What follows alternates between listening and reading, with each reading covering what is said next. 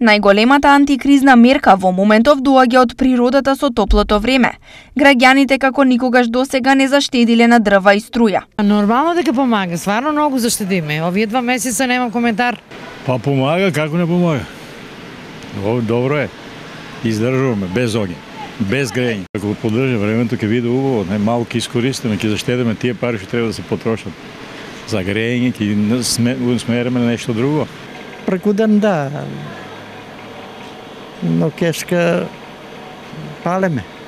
Нека биде цело зима да не платиме ништо, затоа што не јаме пари. Вака да биде се, а? Се вака нека биде, вика и тоа. биде. Невообичаените високи температури за овој период добро и донесоа на сточарите. Стоката се уште може да најде зелено на пасиштата.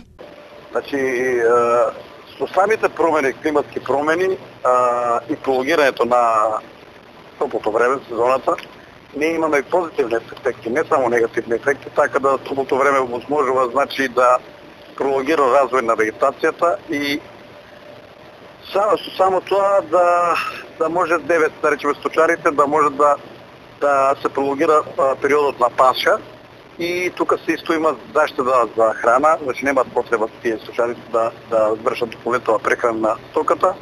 За градинарите топлото време е продолжение на сезоната и максимално искористување на реколтата.